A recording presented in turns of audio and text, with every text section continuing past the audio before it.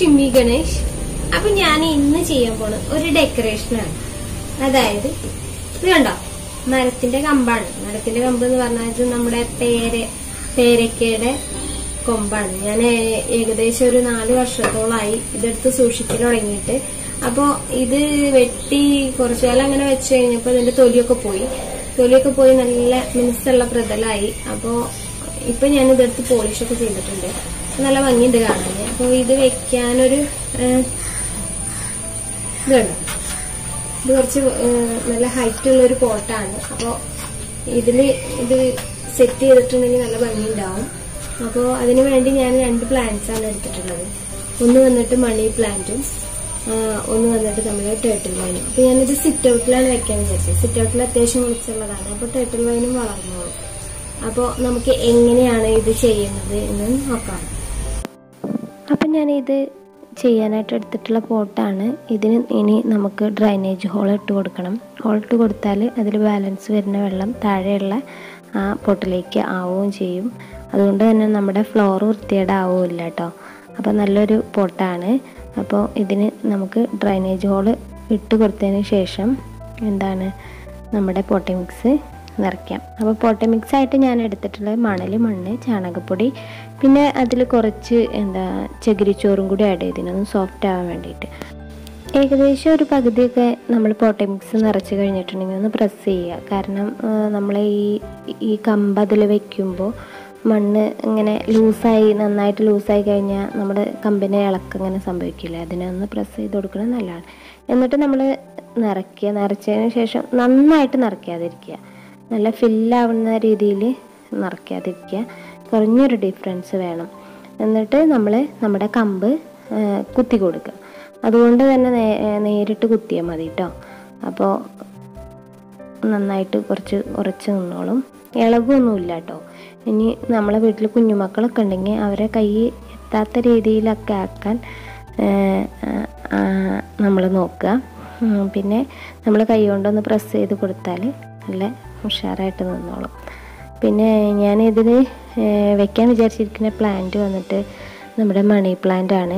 അപ്പോൾ നമുക്ക് ഇഷ്ടമുള്ളത് വെക്കാം കേട്ടോ എനിക്ക് മണി പ്ലാന്റ് ഒരുപാട് ഇഷ്ടമാണ് അപ്പോൾ ഞാനതിന്റെ കുറച്ച് നീളമുള്ള പോർഷനാണ് എടുത്തിട്ടുള്ളത്. എനിക്കിതിൽ ശരിക്ക് ചെറിയ മണി പ്ലാന്റ് വെക്കാനാണ് ഇഷ്ടം. ചെറിയ തൈ നോക്കി വെക്കാനാണ് ഇഷ്ടം. എന്നിട്ട് അത് സ്വയം പിടിച്ച് കയറുന്നതാണ് ഭംഗി. പക്ഷെ ഞാൻ ഇത് നിങ്ങൾക്ക് കാണിക്കാൻ വേണ്ടിയിട്ട് മാത്രമാണ് ഇങ്ങനെ വെക്കുന്നുള്ള വെച്ചിട്ടുള്ളത് കേട്ടോ അപ്പോൾ ഞാൻ ഇതിന്റെ കൂടെ തന്നെ ചെറിയൊരു പ്ലാന്റ് കൂടി വെക്കുന്നുണ്ട്. അപ്പോൾ അത് സ്വയം കയറട്ടെ എന്ന് വിചാരിച്ചിട്ട് നമുക്ക് വേണ്ട അത്ര ഇങ്ങനെ ചെയ് ഇങ്ങനെ കയറ്റി കൊടുക്കാം. പിന്നെ ബാക്കി മുറിക്കുകയൊക്കെ ചെയ്യാം. ഇത് ഏകദേശം കുറച്ച് വലിയ പ്ലാന്റാണ് പിന്നെ അതുപോലെ തന്നെ ഞാൻ ടേട്ടിൽ വൈന് ഈ ചെടി ഈ ചട്ടിയുടെ ചുറ്റിലായിട്ട് വെച്ച് വെച്ച് കൊടുക്കുന്നുണ്ട്. അപ്പോൾ ഇത് ഞാൻ പറഞ്ഞില്ലേ ഞാൻ ചെറിയ പ്ലാന്റ് വെക്കുന്നുണ്ടെന്ന് നല്ല ഭംഗിയുള്ളൊരു പ്ലാന്റ് ആണ്. ഇത് സ്വയം കയറ കയറിക്കോളും എന്ന ഒരു ഇതിലാണ് ഞാൻ ഇതും കൂടി വെച്ച് കൊടുക്കുന്നത്. അപ്പോൾ നമ്മൾ ഇങ്ങനെ ചെയ്യുന്നത് നല്ല ഭംഗിയാണ് കേട്ടോ അപ്പോൾ എല്ലാവരും ഒന്ന് ചെയ്ത് നോക്കണേ. ചെയ്തിട്ട് എന്റെ ഇൻസ്റ്റാഗ്രാമിൽ ഇത് തന്നെ ചെയ്യണമെന്നില്ല. എന്തെങ്കിലും നിങ്ങൾ ചെയ്ത വർക്കുകൾ എന്റെ ഇൻസ്റ്റാഗ്രാമിൽ നിങ്ങൾ ഇടുകയാണെങ്കിൽ ഞാൻ യൂട്യൂബിൽ കാണിക്കണ്ട്. അപ്പോൾ എനിക്ക് ഒരുപാട് സന്തോഷമാവുകയും ചെയ്യും. അപ്പോൾ ഇൻസ്റ്റഗ്രാമിന്റെ ലിങ്ക് ഞാൻ താഴെ കൊടുക്കണ്ടേ. ഇപ്പോൾ ഞാൻ ടോട്ടൽ വൈന് ചുറ്റിലും വെച്ചിട്ടുണ്ട്. അതിന് ശേഷം അതിന്റെ മുകളിൽ കൂടെ കുറച്ച് മണ്ണും കൂടി ആഡ് ചെയ്യുന്നുണ്ട്. ഇത് നമ്മൾ ഇങ്ങനെ ചെയ്തിട്ടുണ്ടെങ്കിൽ കുറച്ച് വെയിലൊക്കെ തട്ടുന്ന സ്ഥലമാണെങ്കിൽ നമ്മുടെ ടോട്ടൽ വൈന് നന്നായിട്ട് വളരും. അപ്പോൾ നല്ല ഭംഗിയായിരിക്കും. നല്ല ഹൈറ്റിൽ നിൽക്കുകയല്ലേ? അപ്പോൾ താഴേക്ക് ഇങ്ങനെ തൂങ്ങി കിടക്കുമ്പോൾ നല്ല ഭംഗിയായിരിക്കുമല്ലേ കാണാൻ? അപ്പോൾ ഇത് എന്റെ മുകളിൽ ബാൽക്കണി ഉണ്ട്. എനിക്ക് ചെടി വെക്കാനായിട്ട് ഒരു ബാൽക്കണി ഉണ്ട്. അപ്പോൾ അവിടെ വെക്കാം എന്നാണ് വിചാരിച്ചത് അപ്പോൾ നന്നായിട്ട് വളർന്നോളും. വളർന്നു കഴിഞ്ഞിട്ട് ഞാൻ നിങ്ങൾക്ക് വേറൊരു വീഡിയോയിൽ കാണിച്ചു തരണ്ട കേട്ടോ. നമ്മുടെ മണി പ്ലാന്റ് ഇൻഡോർ ആയിട്ട് വെക്കാൻ പറ്റുന്ന ഒരു പ്ലാന്റ് ആണ്. ബെസ്റ്റ് പ്ലാന്റ് ആണ് ഇൻഡോർ ആയിട്ട് വെക്കാൻ പറ്റിയത്. അതുകൊണ്ട് നമുക്ക് ഇത് മാത്രം വെച്ചിട്ട് മണി പ്ലാന്റ് മാത്രം വെച്ചിട്ട് നമ്മുടെ വീടിന്റെ അകത്തൊക്കെ വെക്കാം കേട്ടോ. അപ്പം നമ്മുടെ വീട്ടിൽ ചിലവ് കുറഞ്ഞ രീതിയിൽ ചെയ്യാൻ പറ്റുന്ന ഒരു ബെസ്റ്റ് ഐഡിയ ആണ് കേട്ടോ ഇത്. എല്ലാവരും ചെയ്യണേ. അപ്പോൾ നിങ്ങൾക്ക് എല്ലാവർക്കും ഈ വീഡിയോ ഇഷ്ടമായിട്ടുണ്ടെങ്കിൽ ലൈക്ക് ചെയ്യാം ഷെയർ ചെയ്യാം കമന്റ് ചെയ്യാം സബ്സ്ക്രൈബ് ചെയ്യാം. സബ്സ്ക്രൈബ് ചെയ്യുമ്പോൾ എന്റെ അടുത്തൊരു കുഞ്ഞു ബെല്ലൈക്കൺ ഉണ്ടാവും. അതും കൂടി ഒന്ന് എനേബിൾ ചെയ്താൽ ഞാൻ ഇടുന്ന വീഡിയോസ് പെട്ടെന്ന് തന്നെ നിങ്ങൾക്ക് നോട്ടിഫിക്കേഷൻ ആയിട്ട് വരും.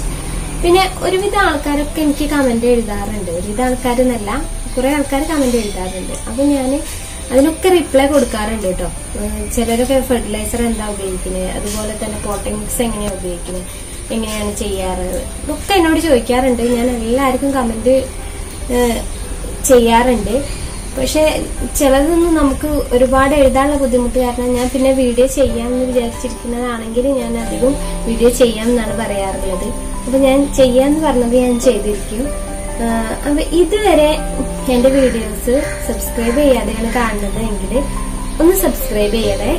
അപ്പൊ എല്ലാവർക്കും ബൈ